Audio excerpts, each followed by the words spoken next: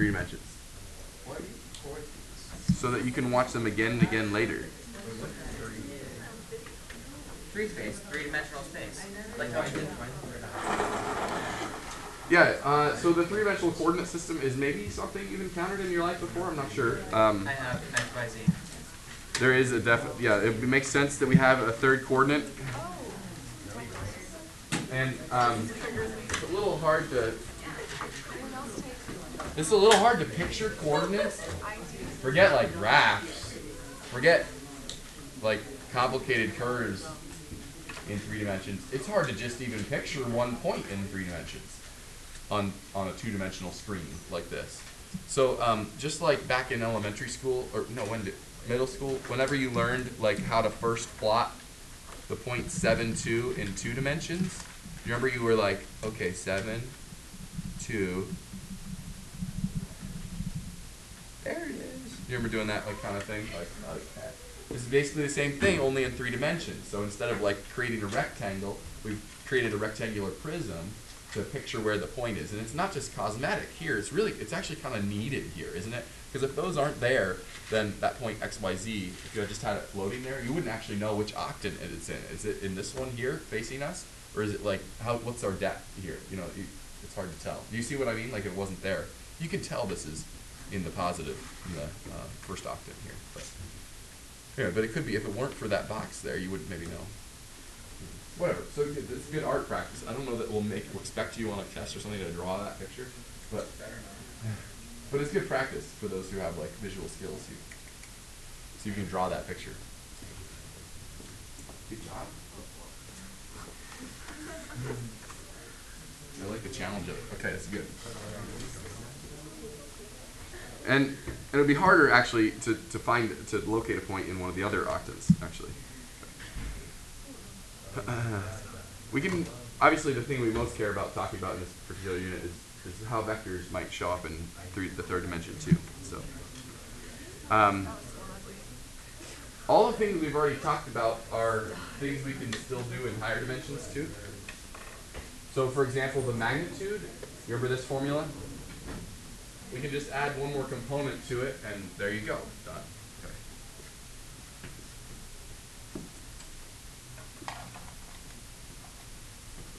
Or say the dot product. We just learned about that. So there you go. Just add a third component.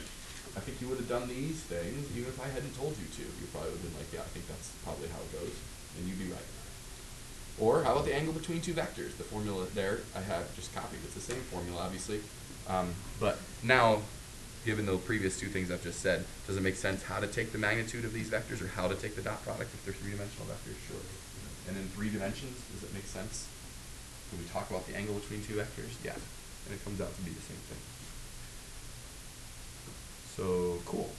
So far, really, actually, in some ways, nothing new.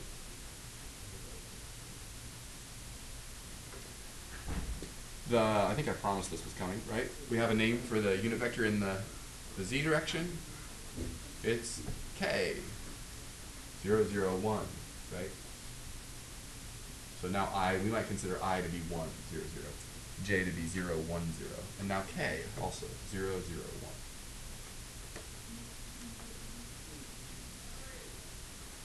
I'll let you digest that for a second. Are we good on that? Is that cool? What do you think? What do you think of three dimensions? What do you think?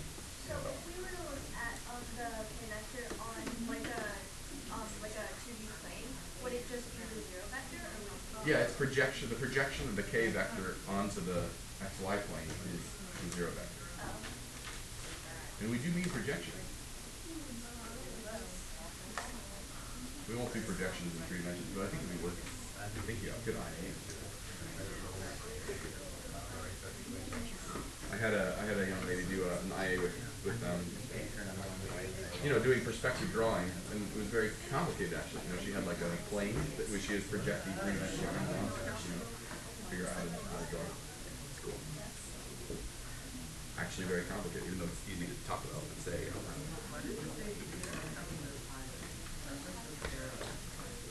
Where does it say that? Oh yeah. Well, I think it's obvious how you could extend any of these three ideas to the fourth or fifth dimension or so on, right? You know, you now know how to calculate the magnitude of even a four or five dimensional vector. You just keep adding in, in the same way. More components. It doesn't mean anything? Why not? Okay. Wait, what would four dimensions or five dimensions look like? 'Cause Well, I mean, to a mathematician, um, or to anyone maybe, uh, higher dimensions just means um, a list of like more and more characteristics, right? More things we're measuring about something. So, so something that has like if you were to draw something like on the plane, like like you did the rectangular prism, how would you make that simple? yeah, yeah. How would you visualize it? I mean, an example of uh, an example of like here's a, an example of a five-dimensional vector, right? Um, imagine you were trying to describe the temperature at, at, at every point in this room throughout the day, right?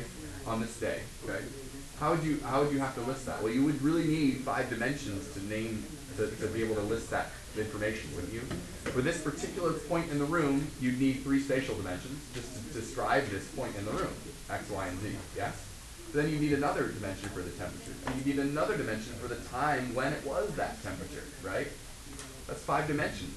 Now, how could you picture that besides like talking about it and thinking about it? Um, I don't know. Maybe you do like an animation with color or something, right? You have like a heat map where red and red is hot and blue is cool, and you'd show me a video over the course of maybe a time lapse video of the room, and I'd be able to actually see all five dimensions. But it, it does take maybe because we're like three dimensional people. It does take like also adding color and animation to help us with the, the extra two dimensions. Like add a fourth plane onto that, right? Like, Mm, I don't know where it would go, right? Yeah. Yeah, you can't really add another. It'd be hard to see, but people have come up with all sorts of ways of helping us visualize higher dimensions. Um, all right, well, practice time. Ready, to go. So I'll call on a couple people in, in uh, I'll give you two or minutes or so to, to try these new operations in this new context.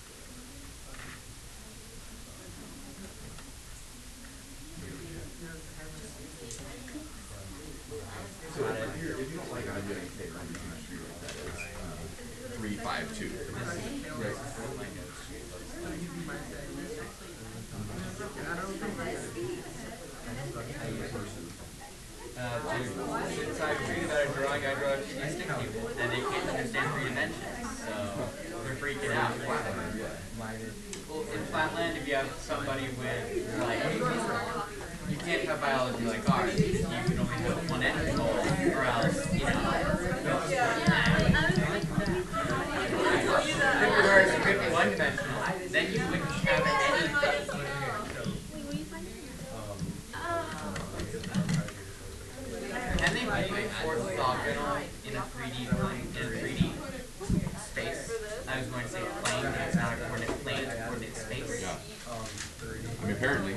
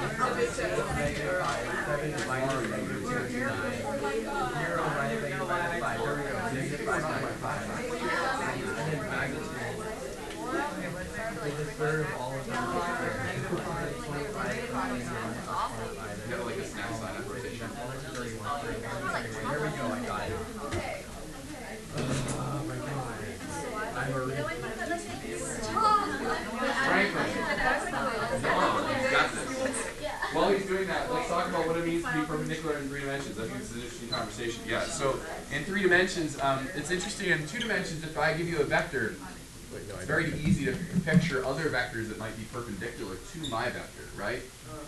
There aren't very many options, really. They all lie along like a single line, kind of, right? Um, so what, what do we mean when we, if I have a, a vector that I own in three dimensions, and you come along and you want to like place another vector in, in, in there somehow, so that it's perpendicular, uh, where could you put it? You, it seems like maybe you have some more options, don't you? So here's my vector. Where's your vector going to go? It's perpendicular to mine. Yeah, it could go here, right? That's certainly perpendicular, forms a 90 degree angle. Where else could it go? Yeah, it seems like there maybe is like a, a whole circle of options, isn't there? And actually, the magnitude is up for grabs too. So really, you could, really, maybe not just a, a single circle, right? But really, Every year. Really like everything. Like, what does it determine? Like, what, what, what's actually being determined by a set of vectors that are all perpendicular to my vector? Maybe a plane of some kind, right? They all kind of lie, lie in the same plane almost, right? So all the vectors would be perpendicular to my vector. So we have more options in three dimensions. So I just want to make sure you're picturing in your mind what it would mean for like for B, for these two vectors to be perpendicular. Is that a thing that can happen? Yeah. In fact, it's there may be lots of ways to have that happen in three dimensions. All right, so lots of good stuff on this slide. You're using, you're getting used to i, j, and k. You're like, you're getting used to taking the dot product. You're getting used to uh, understanding this orthogonal niche for three-dimensional vectors. You know how to do head minus tail and find component form, and you practice doing the magnitude too. Okay, great. Now let's ruin all of this, right? So all of that is still, all of that is still stuff kind of that we've been doing before, just extended to the third dimension. We now have the opportunity to introduce to you a new operation though, that we can only define in three dimensions. Like we really do have to wait until this lesson, this day, in order to talk about the cross product. Which is another way of quote unquote multiplying vectors. I, we want to shy away from using that word though here, but we're going to define another kind of multiplication. It's like a vector product. Two vectors we'll take and we'll multiply them together and we'll get another vector. Okay? And it'll have special properties that we'll describe here too. Uh, and I should say, this only works in dimension three. It doesn't work in higher or lower dimensions. Okay? Now, don't be scared.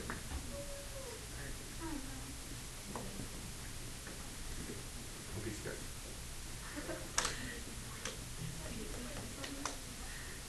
Don't be scared. All right, what the, I want to. I know you're like, what is that thing? I know, I know. You're like, what is that thing? Okay. Um, all right, so this is now this these these are made more difficult in my life because you haven't had a background in matrices. Um, but it, it's it's really fine. Life is actually gonna, gonna be fine. Everything's gonna be fine. Okay. Uh, hold, just okay. Just hold my hand. Okay. So that's a it's called a three by three matrix, and actually those vertical bars in this particular case are calling for us to take something called the determinant of this matrix. So you don't actually have to know those words or anything like that, but um, but we are going to show you how to take a three by three determinant, even though like this is somewhat contextless. Um, we'll circle back someday and like hit this again and, and do some more with matrices. Uh, mark my word. Okay. So, but right now it's machinery. Okay, just trust me on this. So to take a three by three determinant, uh, again, this just looks like a bunch of letters. I apologize, but um, once I break this down, you'll see what's going on. Are you ready? So we're gonna take this. You're gonna circle. You don't have to circle it actually, but just picture I here and crossing out the row in the column that I is in, and then the thing that remains is like this little square matrix, two by two. This minus is not a typo. There is a minus there. And then same deal with J, right? If you were imagine just focusing on J and crossing out its row and its column, then here and here we have a matrix that is kind of what we're writing down there, the, the, one that's left over. These are called minors. The minors of this matrix with respect to this row. And then doing the same thing with K, again, kind of crossing off in our mind the row in the column that it's in, leaves this matrix behind.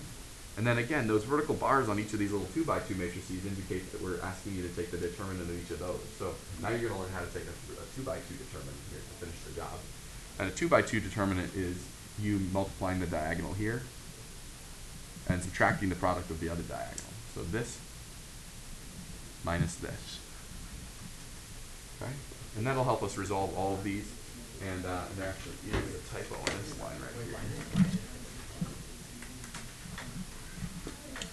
All better. Okay. Um, so yeah, so what did I just say? I said A2, B3, right? So that's this diagonal, the product of the main diagonal minus the product of the off diagonal, right? For each one of these, A1, B3, B, uh, A3, B1, right? So that's what we're doing on each one of these is diagonal minus diagonal. And um, so I think that's helpful, helpful to see like the my circles and boxes and my diagonal minus diagonal. Hearing that and seeing that is better than like being like, okay, how do I think the the cross product again?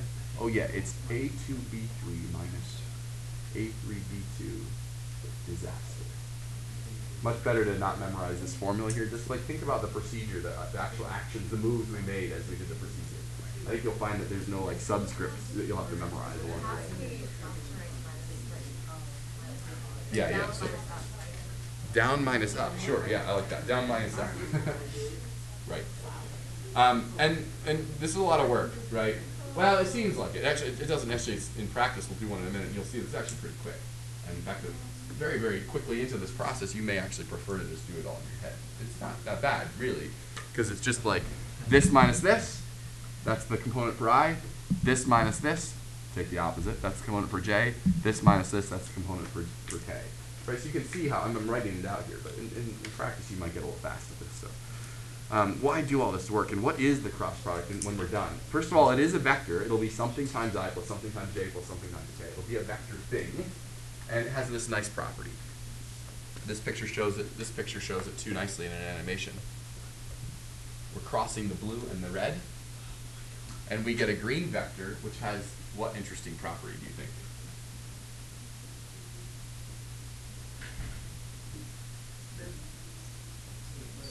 This picture shows it too.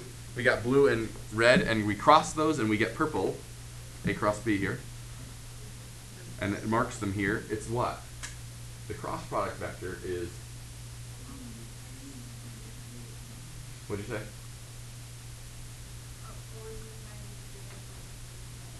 Yeah, it's orthogonal to both of the original two vectors. Hopefully both of these pictures are showing you that. The other thing that this one shows you, which, and that's actually the most important thing for our purposes in this class, is that we understand that the cross product does in fact give us a vector that's orthogonal to both of the original vectors. That's probably the end of the discussion for us, that's all I really care about. But it is interesting to note that when you use the cross product in a physics environment, the magnitude of the cross product matters to us also. Um, and you can see when the cross product has its biggest value and when it has its least value in terms of magnitude. When does that happen? In terms of the blue and red vector, how do we get a big cross product? Do you see it? Watch it spin. Yeah, when, the, when they're at 90 degrees, which is interesting. There was another product we did recently that kind of had the opposite property, didn't it? Do you remember that? But that product, when we're at 90 degrees, is zero, wasn't it? All right, well, what about when this is at 180 or, one, or zero degrees? When they're at 180 degrees or at zero degrees? The cross product has a magnitude of zero. And actually that kind of makes sense to me because if, if you're asking me to come up with a vector that's perpendicular to both of my vectors and both of my vectors are just parallel to each other, then you haven't really well defined the problem, have you? If, if mine are like this together, then there are an infinite number of choices for the vector that would be perpendicular to both. So you haven't really, right? Whereas in the other situations, you actually have uniquely determined it. Um, and the magnitude actually looks similar to, I don't know, extra information, yay, extra information, okay. Um, the magnitude turns out to be this.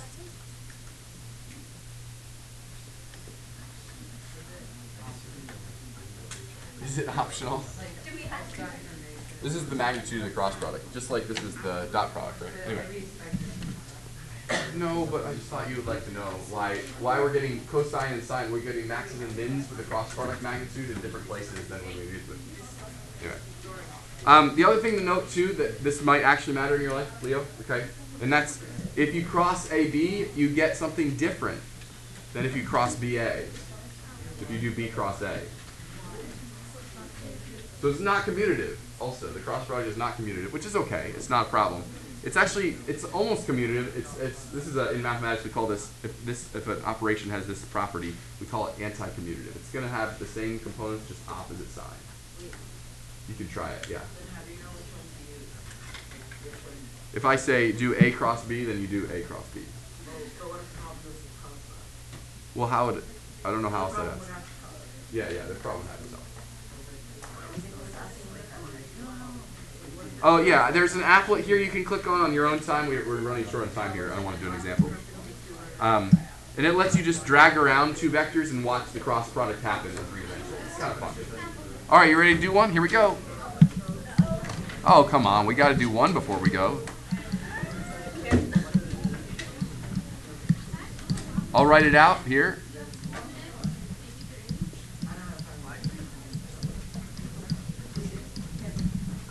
All right, these are all vectors here, of course. All right. So we're doing i times this negative 4, right, or excuse me, negative 1, 2, 0, 4, that, that matrix right there, minus this matrix here, right, 3, 2, negative 1, 4. And then k, block these off, 3, negative 1, negative 1, 0. You feel it? No, I don't. And then i times, what is this? Negative 4 minus 0. We're doing the product of the two diagonals. So negative 4 minus 0. There's, there it is. Our, there's our first component. Here we've got 12 minus negative 2, which is 14. But throw a negative out front. What's down here? 0 minus 1. So that's just negative 1. If you want to white write 1, you can. So I think our cross product is negative 4, negative 14, negative 1. And what's one way that we could just kind of check that we got it right? Well, it's not a foolproof check, but it should be true that I claim that this has what property in relationship to each of the other, other ones. So you could try by checking the dot product of our cross product vector with either one of these. Check it real, real quick even in your head. You should get, with both of the original vectors, a dot product of zero, do you? Remarkable. Amazing. But true. Does it work?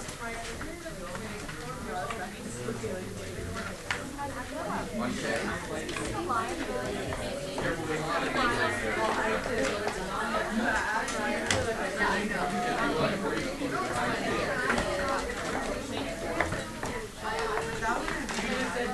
All right, guys, the homework tonight, listen guys, um, the homework sheet says do this worksheet. Uh, please feel free, I don't know whether it says this on there or not, but please feel free to do just the odds if you like, okay? I think you get the idea. If you want to do more, you can, but It actually gives, it does. it gives us front 1 through 11 odd, back 7, 8, 9, 11, 13, 15. Do what the worksheet says. There you go. Know that you don't have to do them all, okay? Don't get carried away.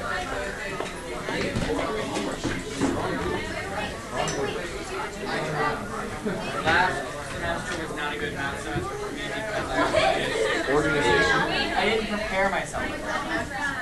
Have a great day, you guys. See you later.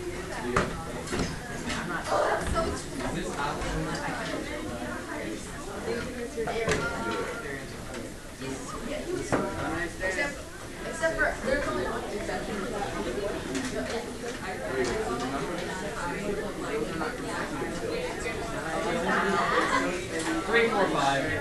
Like, yeah, like three, four, five, or, or six, seven, eight. Oh, so it's a follow, it's a follow. Yeah, by one, or, or twelve, I fourteen. did that. I did that. Twelve, thirteen, fourteen, whatever, right? Three, four, five. I can't tell you. No, I did the math. It's in my work. Oh, I'm still working on this. Wait, is this like, is it, is like, is it under, is it under, like, related or something? I mean, it's whatever math you like, really. I don't know. But I just put it up there. it's not for any particular class. Alright. See ya. I like that you're still doing it. Yeah, it's weak, isn't it? But remember, I said, don't just like criticize, fix. Yeah, There was no criticism. I just she didn't accept it in her mind. She was like, no, That is fair. I didn't. I reject. But to be fair, you could put up more, stuff, Yeah. right? You should come on just tomorrow with me. You know.